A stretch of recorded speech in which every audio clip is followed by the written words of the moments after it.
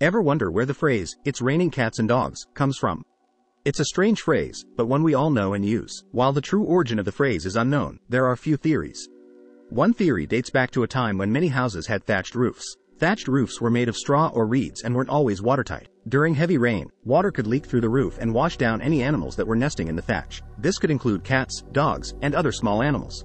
Another theory is that the phrase is related to the superstition that witches rode broomsticks during storms. This superstition may have led people to believe that heavy rains were a sign that witches were nearby and their cats were being washed out of the sky. A third theory is that the phrase is a corruption of the now obsolete word, catadoo, which means waterfall. The idea is that the phrase, raining cats and dogs, is used to describe rain that is so heavy that it is like a waterfall. Regardless of its origin, the phrase, it's raining cats and dogs, is a colorful way to describe heavy rain.